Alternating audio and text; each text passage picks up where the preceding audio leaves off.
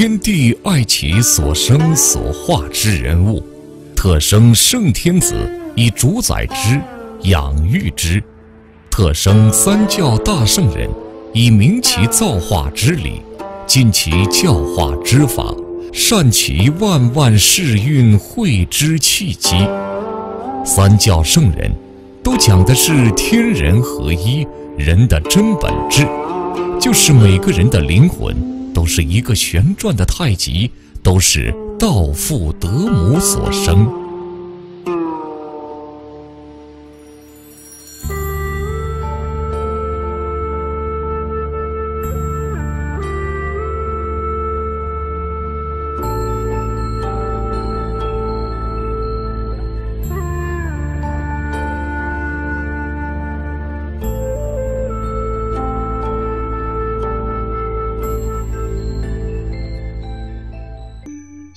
西游记》金丹揭秘，主讲人谭金英，一九六一年生于北京，一九八三年毕业于北师大中文系，中国文化报记者，团结出版社编审，作家、画家、丹道家，代表作《生命禅》《易经》中的生命密码，《内在小孩解道德经》《孙悟空出世》《道德艺术》等，精通易道。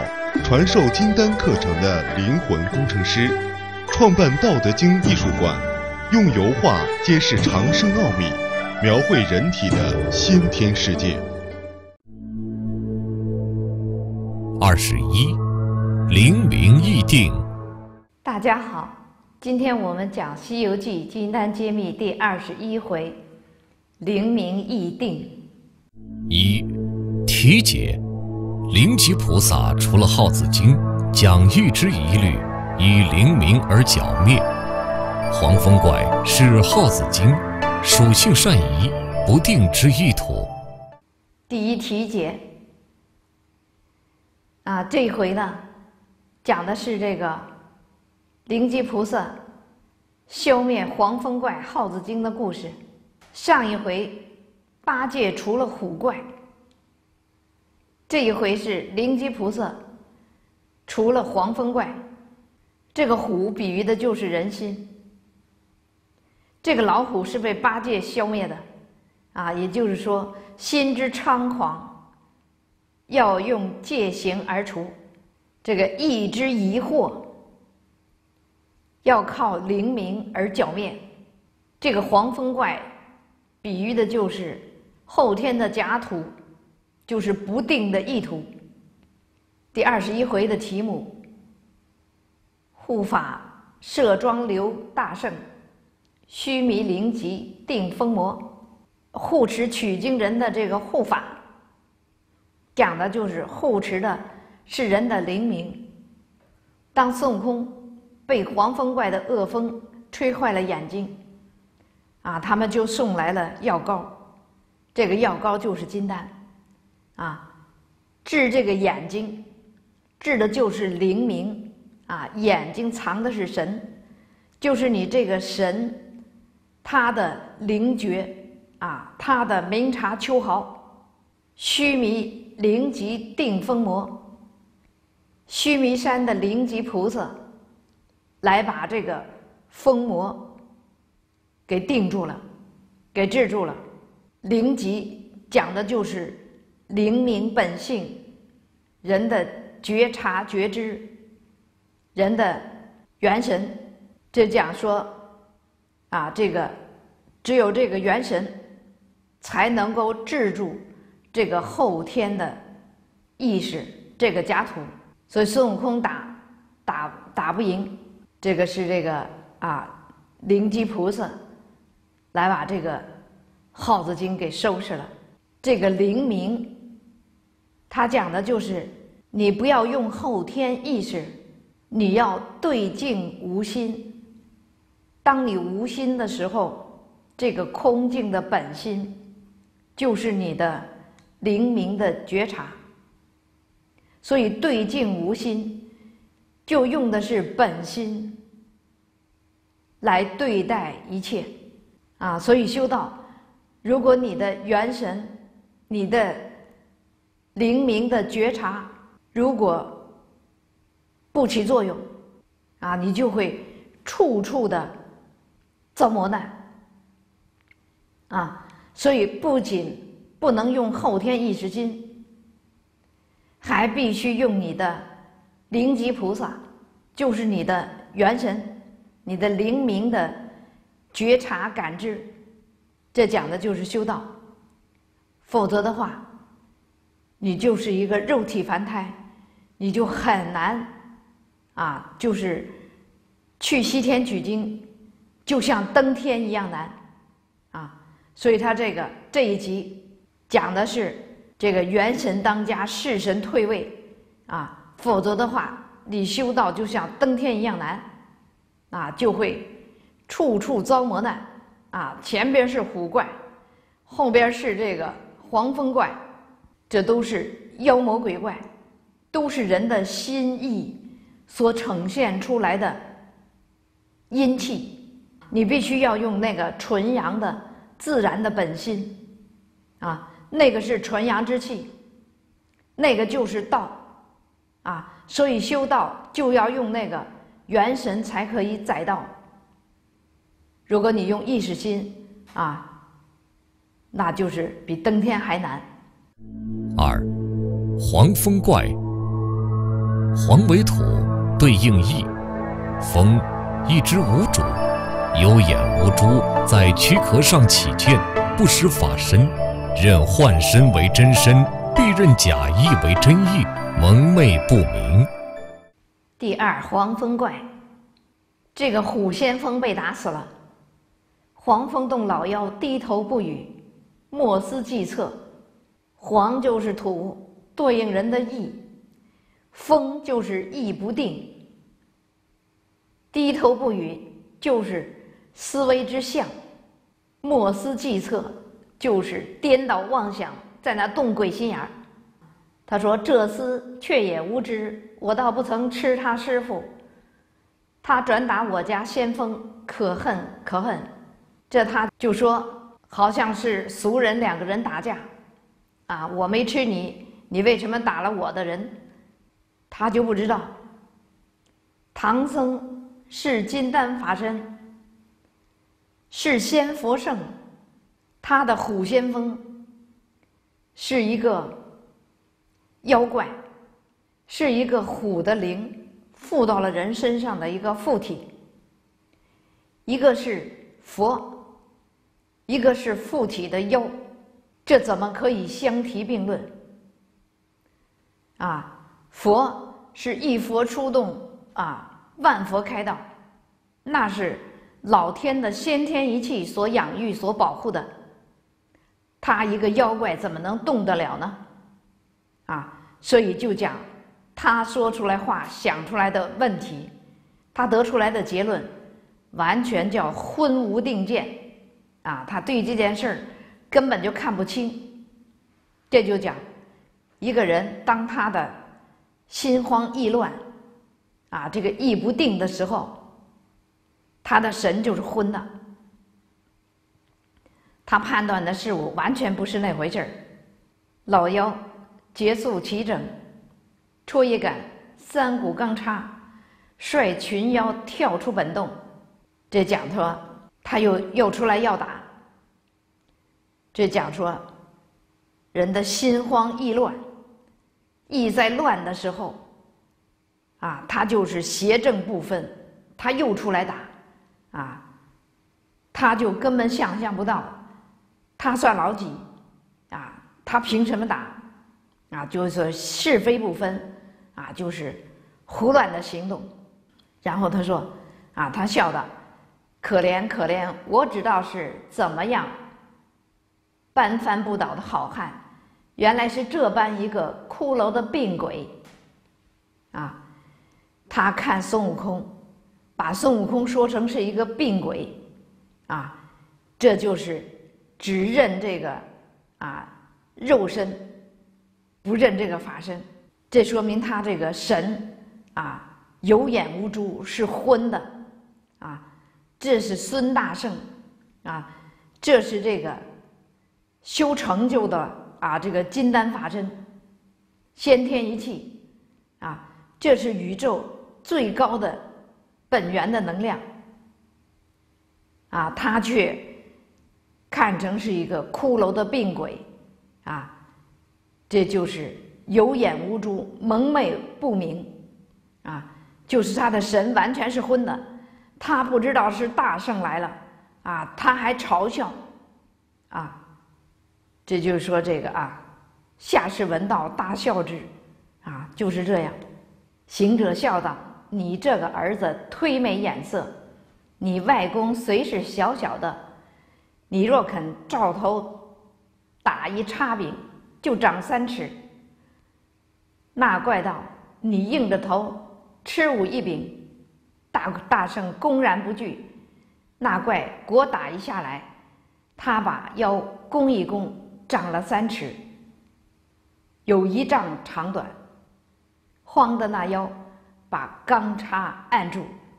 这就说，金丹法身，当他的能量足的时候，啊，叫丈六金身，这是心灵的眼睛，能够看到。啊，如果一个人他得了金丹，这个金丹的得满三千，啊，这个金丹的德能量非常强。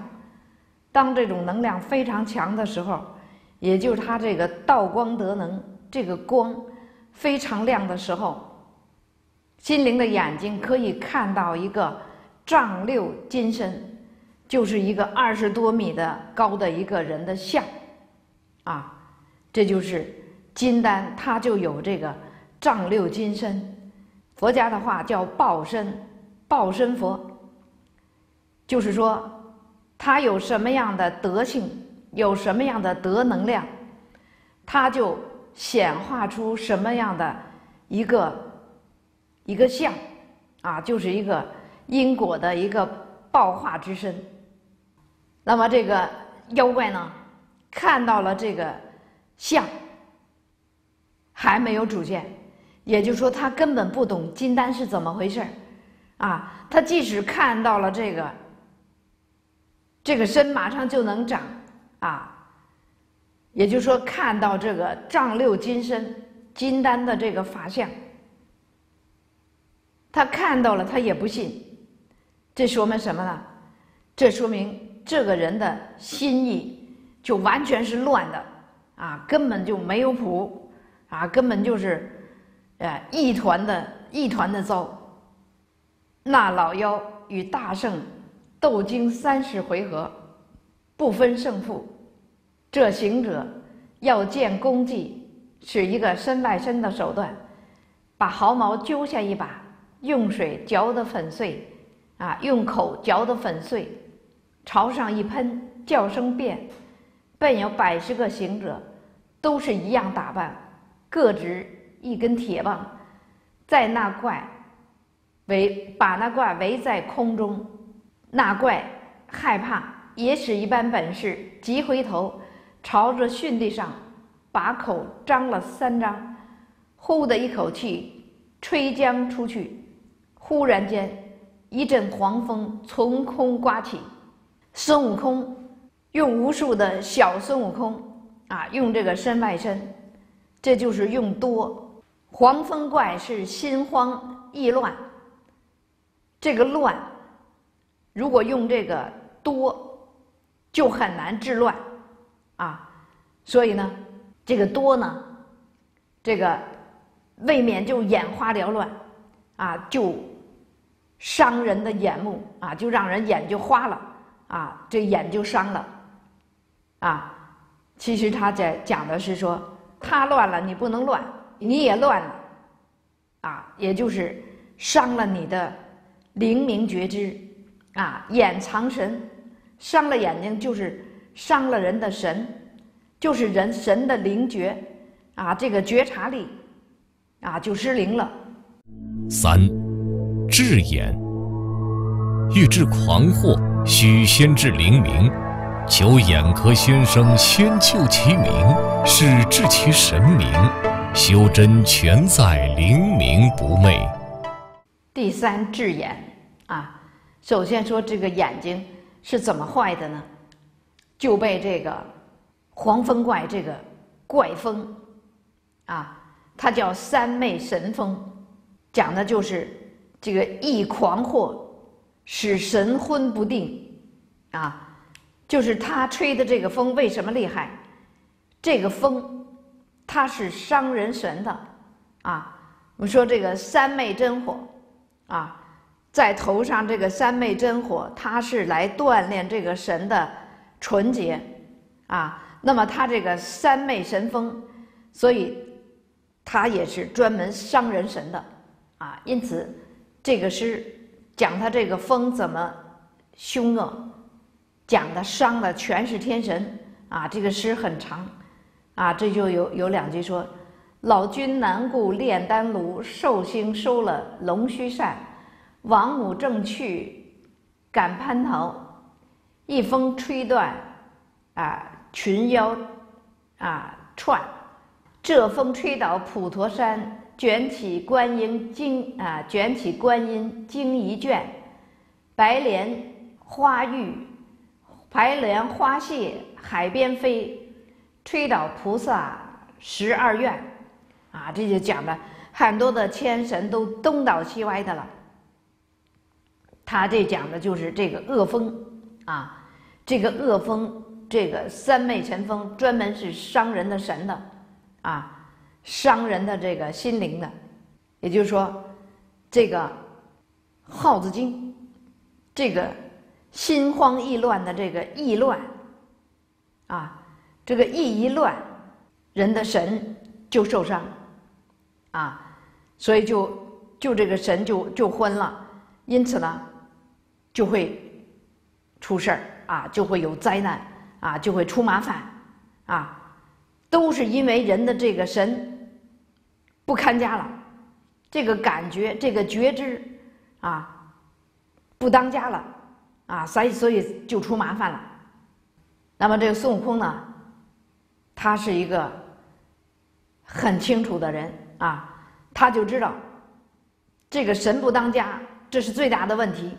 啊，所以救师傅是后一步的，先要治眼睛，啊，先要把这个神不当家，把这个事儿解决。你要先稳住了神，啊，你意大定，你的灵明觉知才能升起，啊，所以不能乱啊。所以他他跟这个八戒说说救师傅，且等在处。不知这里可有眼科先生，且叫他把我眼医治医治。所以说，这个治眼睛，治的是这个神的明啊，眼藏神这个神的光明。修道全在灵明不昧啊，全靠你的灵明觉知在觉察啊。可惜呢，很多人非常的愚蠢。他总在用意识心啊，在纠结，在动心眼儿，他就没有用那个灵明觉知的那个神察、那个神观啊。所以呢，他好像是说在在这个很诚恳的在修道，但是他还是一个后天的俗人，用后天意识心活着的这样一个人啊，他还不是一个。灵明自知，啊，一个很安静的，啊，一个元神当家的人，还不是这样的人，啊，所以这个修道就是没有入门啊，也就是说你能不能静，你能静，就是你的灵明自知，灵明的觉察，啊，就是元神当家。假如还是一个啊动人心的。一个向外的，一个总在扒着有，啊，说这个一静下来一空了，就觉着找不着感觉了，就觉着很难受了。这就是后天之假，啊，先天之真，是对那个有是无所谓的，啊，很喜欢那个清净的那个空境，喜欢那个。无啊，体会那个无无中生的妙有啊，所以这是一种生活方式啊，是一种后天的俗人啊，动着人心、人心向外的一种生活，还是一个空静自然的啊，心神内观向内领悟这个空无的妙有啊，空无的自在啊，所以就还没有自在，还是一个慌乱的人心啊，这就是。灵明的昏聩啊，所以如果你的元神不当家，你的灵明觉察不醒过来，你这个修道就还没有入门，就像登天一样的困难。然后他们就找到了这样的一个院子啊，有一个长者，他们就说啊，这个眼睛坏了啊，能不能治？啊，说是被这个黄风怪这个风吹了，啊，这个长者道，不是不是，他叫做三昧神风。行者道，怎见得？老者道，那风能吹天地暗，善刮鬼神愁，烈时崩挨恶，吹人命既休。你们若遇着他那风，吹了。还想得活呢？只除了是神仙，方可得无事。行者道：“果然果然，我们虽不是神仙，神仙还是我的晚辈。啊，这讲说是天仙啊，仙佛圣，比这个啊地仙、神仙这第二等的神仙，中乘的神仙，还是这个仙佛的晚辈。”这条命急切难修，却只是吹得我眼珠酸痛。那老者道：“既如此，也是个有来头的人。我这弊处却无卖眼药的。老汉也有些迎风冷泪，曾遇一人传了一方，名唤三花九子膏，能治一切风眼。三花。”讲的就是精气神啊，三家九子就是九转大还丹啊，就是金丹啊，金丹这个先天的元神，这个灵明的觉知，不仅能治这个后天的不定的这个意图啊。并且能开一切的障碍，这个金丹，这个纯阳之光，这个生命之光，啊，就是人的神光，啊，所以孙悟空的眼睛坏了，其实是他的灵明觉知，啊，这个出问题了，啊，他有一个狂躁的心，啊，要征服这个黄风怪，结果反而被这怪伤了眼睛，啊。也就讲孙悟空他乱了，啊，他必须安静下来，啊，回归他的本性的觉知，他就可以得救了，啊，所以这个就就比喻的是这个啊。行者闻言低头唱道：“啊，圆球仙点是点是。”那老者应承，即走进去，取出一个玛瑙石的小罐来，拔开塞口。用玉簪蘸出少许，与行者点上，叫他不得睁开，宁心睡觉，明早就好。这个宁心啊，就是回归于元神；睡觉就是觉醒，就是让你的元神，让你的灵明觉知，让他来唤醒。之后呢，哈，他们就睡在这儿了。啊，就展开铺开，请行者安置。行者闭着眼乱摸，八戒笑道：“先生，你的名帐呢？”行者道：“你这个囊糟的呆子，你照顾我做瞎子呢？”那呆子哑哑的暗笑而睡。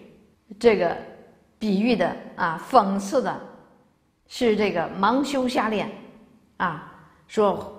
这个啊，胡乱的这个看不见，胡乱的摸，啊，这讲的说，修丹就是人这个神观，啊，自始至终离不开这个观世音，啊，来这个观察，来觉察，啊，人的这个元神的这种灵明觉知，啊，很多人他是昏的，啊，他没有这个觉察。啊，所以呢，这就说他的后天的人心，他的心意还不定，还没有归于静定，还没有养成一个修道的人那种向内啊那种空静啊那种自在，还没有养成这样的一种思维方式和生为生活方式。啊，所以他的神是昏的，啊，神是昏的就没法修道，啊，所以你就在人心的层面就是胡胡摸乱撞，啊，他这就比喻的就是这个，行者坐在铺上，转运神功，直到有三更后方才睡。运神功，神就是人的元神，就是人的觉察，啊，说灵明一开。魔怪难擒，啊，说你一感觉一觉察，你的觉察如果能够及时，啊，如果能够准确，就没有妖魔鬼怪，啊，这个麻烦，这个魔障，都是因为你觉察的迟，啊，觉察的不准，这糊里糊涂的，那所以就说。你修道就是元神，如果不元神当家，还是一个后天的俗人的一个啊向外的只扒住有啊一一看到无就不自在了啊就难受了，那你这还是一个后天的俗人啊，所以你这个修道就还差着十万八千里呢。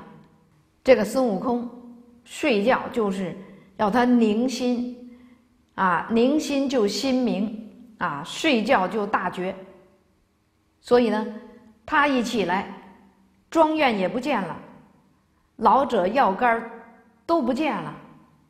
可是呢，孙悟空的眼睛好了，啊，比以前就更好了。这个就是讲的说，只要你的心灵的觉察，啊，你的觉察一升起，一切的妖魔鬼怪啊都不存在，啊。麻烦是因为你的神昏啊，你就看不清状况。四，恢复灵明，灵明一开，魔怪难侵。先点眼，后降妖；若未点眼，妖怪难降，灵明欲定。第四，恢复灵明。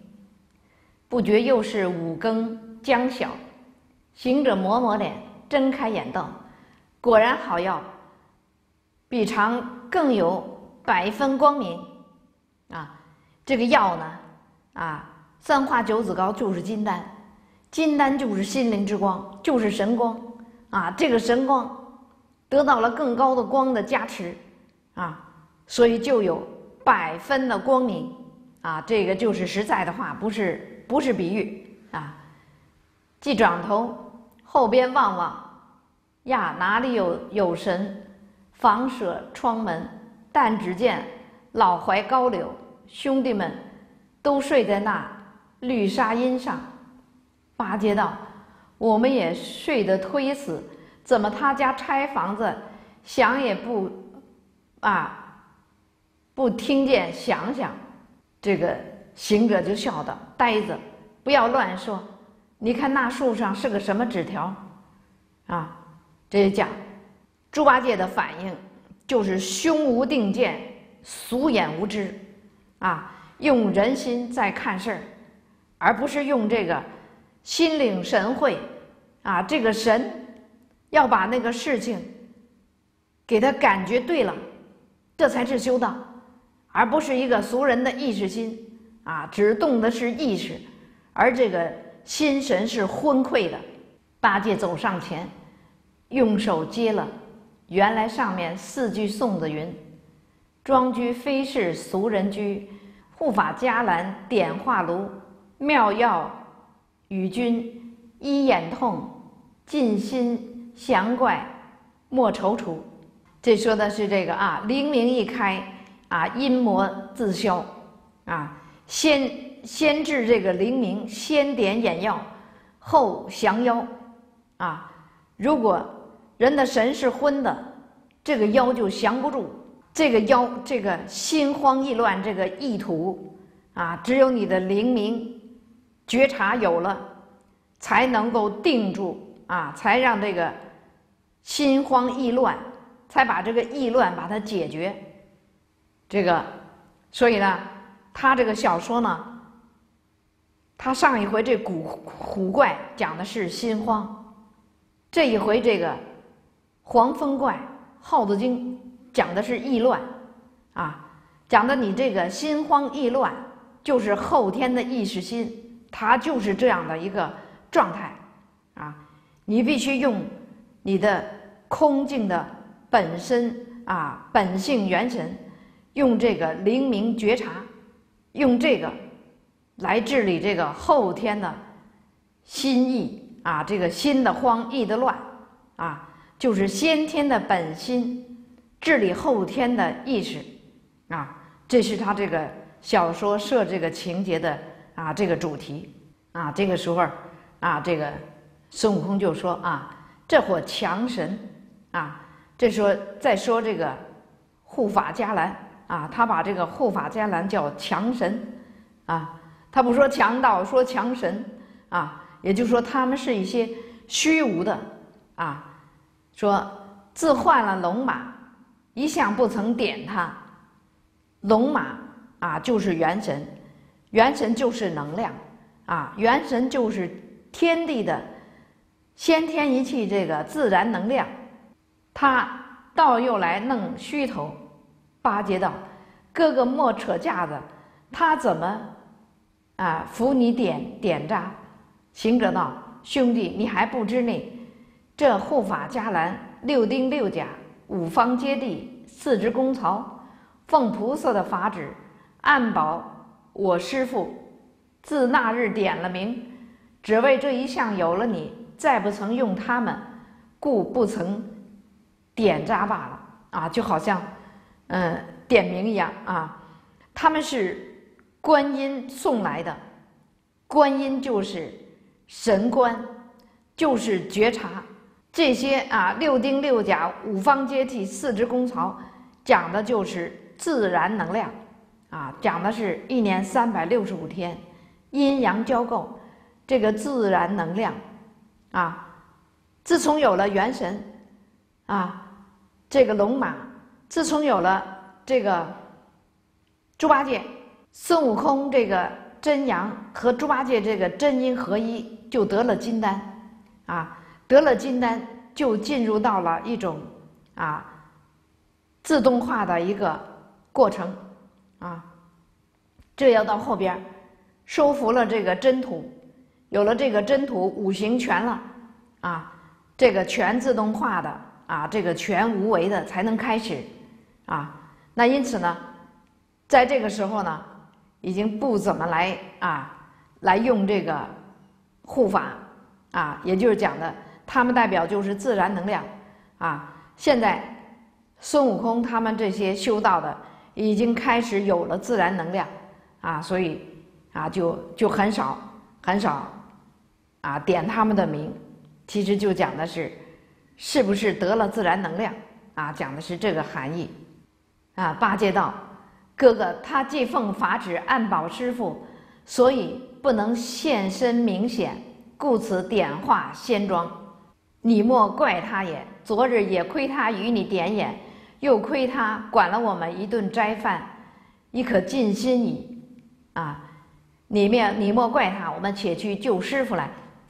啊，他这个。”点化仙庄，他这叫点化啊，这个点化是无形的啊，是在你的心灵上的，给你一个灵感啊，你的你的内心听到一个声音，告诉你什么什么一一个话啊，这叫点化，并不是一个现实的啊，有这样一群的人，有这样一个房子，有这样一个药啊，不是，它是虚的啊，是你心灵的一个觉察啊，所以说这个这个大道啊，这个火候工程。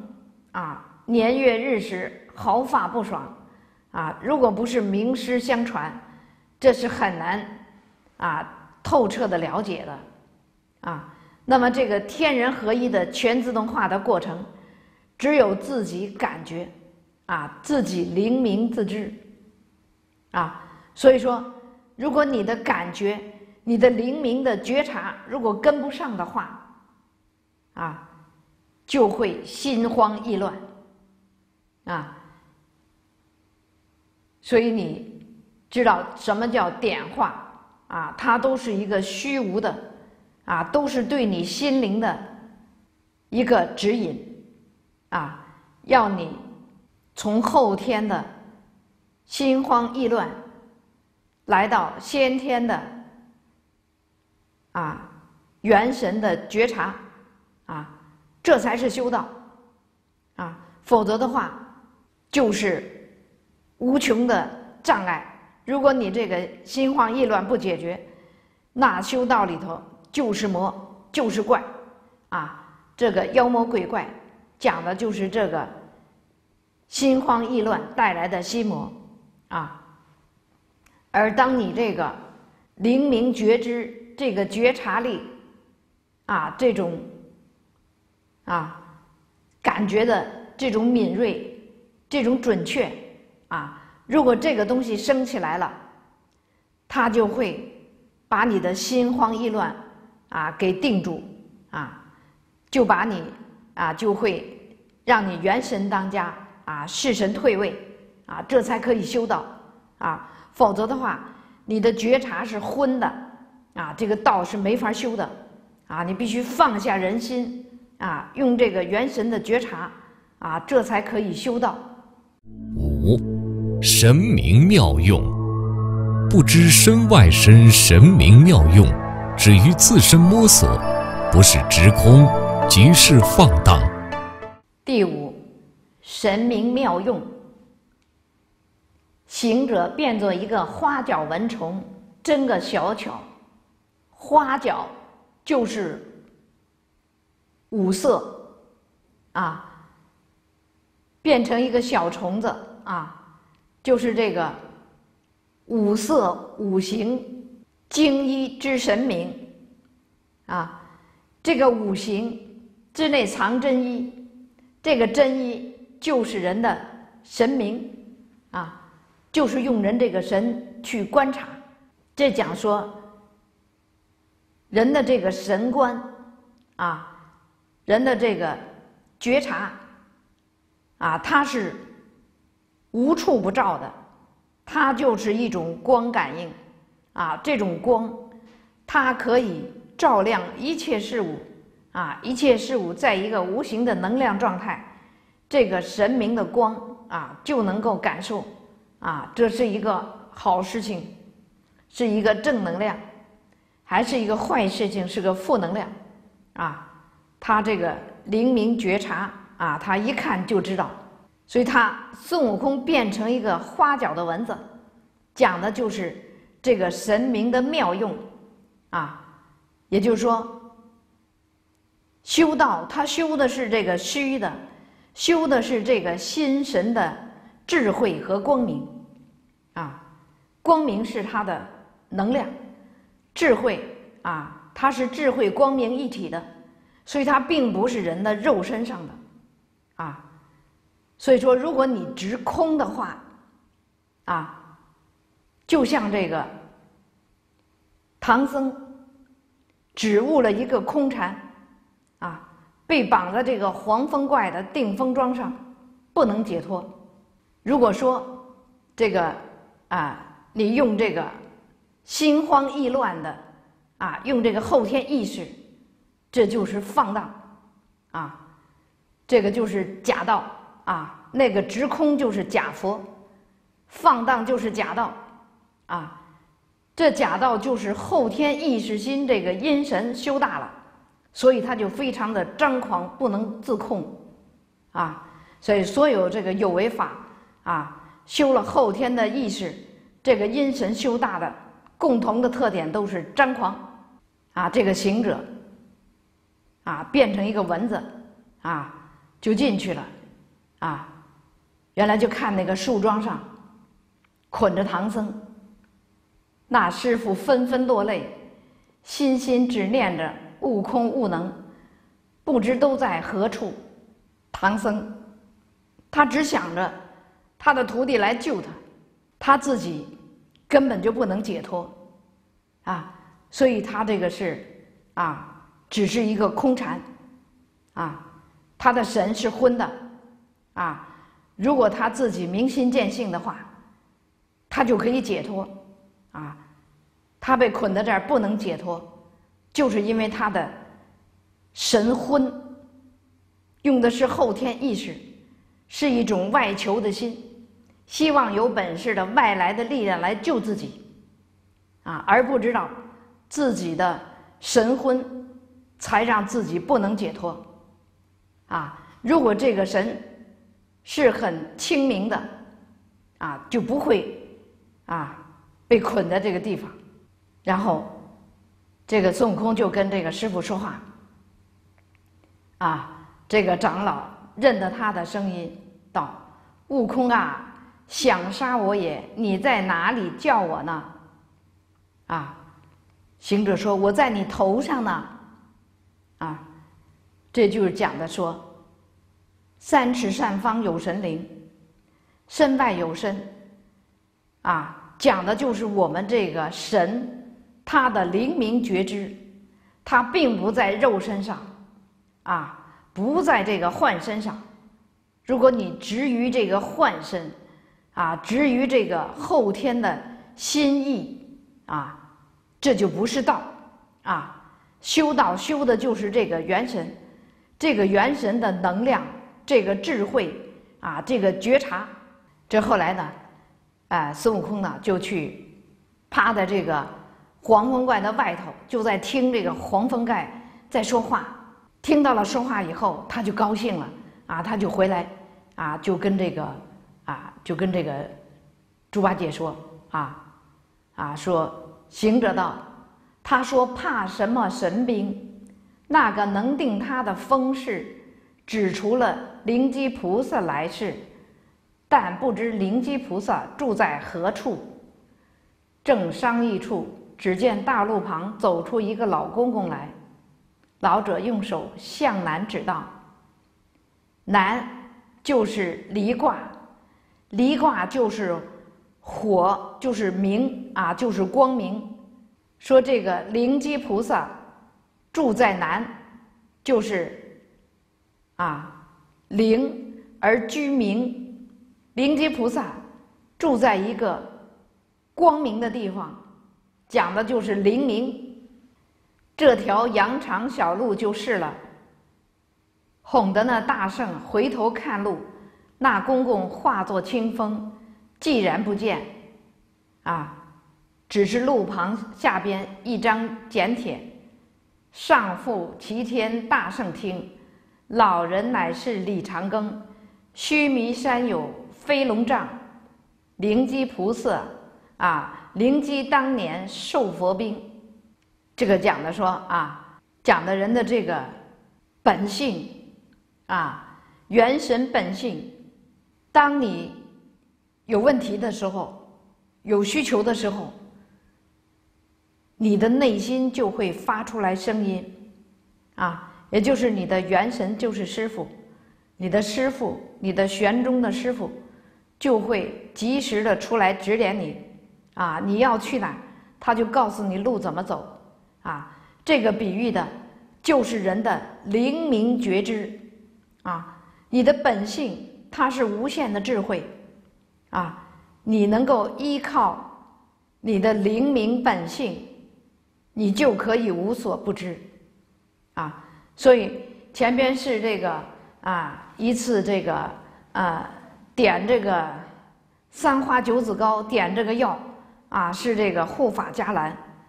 这一次指路又是这个这个金星啊，这个李长庚就是就是太白金星啊，讲这些护法神、这些神仙指路啊，其实讲的是你的灵明觉察啊，你的本性就是你的师傅啊，你的内心就要给你说话，这个内心的声音。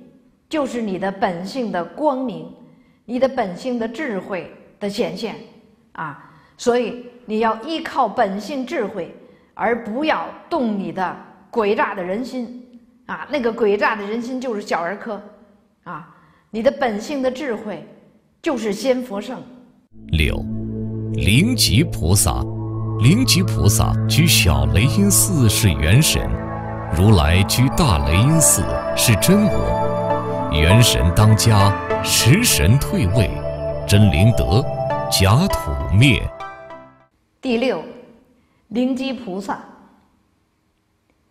啊，孙悟空就找到了这个啊，这个须小须弥，找到了菩萨。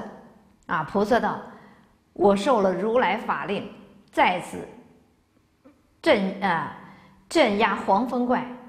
如来赐了我一颗定风丹。”一柄飞龙宝杖，啊，定风丹，讲到这个金丹，金丹它就是元神本性，啊，这个心灵之光，这个光的能量，它是一种本性的圆满智慧，啊，它是纯阳的正能量，啊，这个风讲的就是人的心意的不定，啊。说这个本性元神，这个本性的智慧能量，就可以医治啊，就可以治人的后天的心慌意乱啊，治人的后天的心神不宁。这个飞龙杖讲的就是果断啊，没有妄念啊，非常的这个啊迅速啊，一下子就把它搞清楚啊，就搞准确。啊，没有那么多的颠来倒去的胡思乱想，啊，这讲的就是元神的这种判断事物的这种火眼金睛啊，这种准确深刻。当时被我拿住，饶了他的性命，放他去归啊，去隐性归山，不许伤生造孽。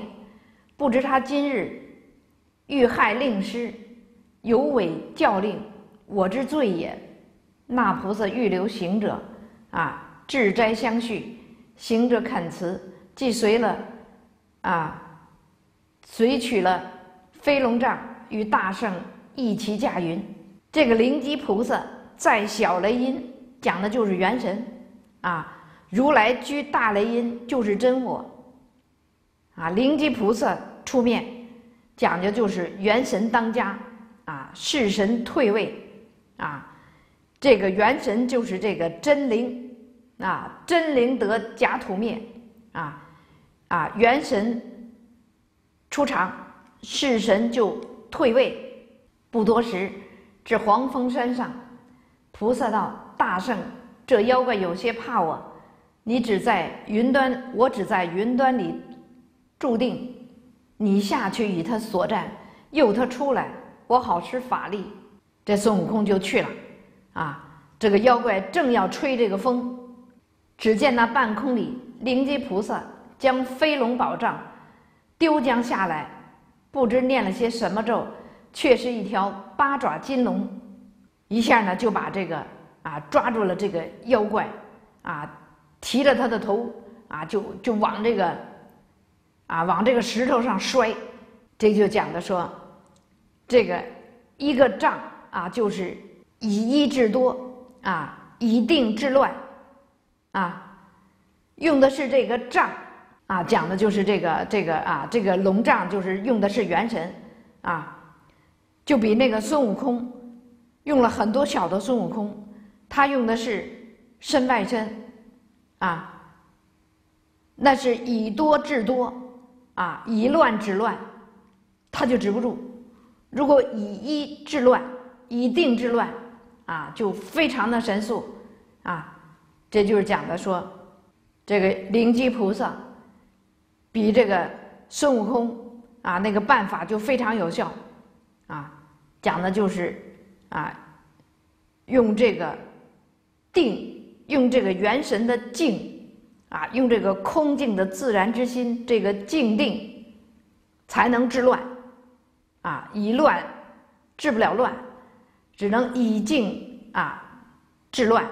孙悟空就要打死啊，这个菩萨就拦的说：“啊，我还要带他去见如来。”啊，讲的就是说啊，还要带他去改邪归正。这个菩萨说：“他本是灵山脚下的得道老鼠，因为偷了玻璃盏内的清油。”灯火昏暗，恐怕金刚拿他，故此走了。就在此处成精作怪，啊！如来召见了他，不该死罪，故找我，啊，辖压。也就是说，他是一个得道的老鼠，啊，但是呢，他把这个偷了油，油是什么呢？油是灯。啊，是这个本性的光明，啊，他的本性失了光明，所以他才狂惑，啊，也就是说，人的元神、元神的觉照，这种本性的光明，如果不升起的话，就会心慌意乱。反过来，如果灵明觉察。非常的强大，啊，人的后天意识心啊，就会非常的啊安静顺从，说他是老鼠成道，啊，讲的他就不是啊灵山本有的，啊，也就是说，这个他是一个动物的精灵，啊修成的，啊。它而不是一个人的啊，不是人的精气神修成的啊，它是一个，它是一个动物的灵，所以呢，就就把它给啊带走了。这个行者闻言啊，却谢了菩萨。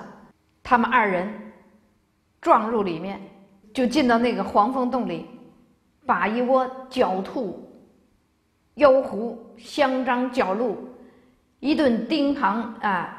钉耙铁棍尽情打死，往后园拜救师傅。这讲的是说，这个意土既定，啊，那些啊狡诈狐疑啊，这个张狂啊，这些毛病自然就消灭。从此呢，就救出婴儿，救出师傅这个唐僧这个。法身，啊，走上大路，啊，这就是假土已去，真土可收，啊，讲的就是人的心慌意乱，这个假土，啊，这个假土用人的灵明觉知把它定住，啊，也就是元神当家，世神退位，啊，只有做到了这个。才可以收复真土，啊，那么下一回呢，就是收复啊沙和尚，沙和尚就是真土，啊，下一回再见。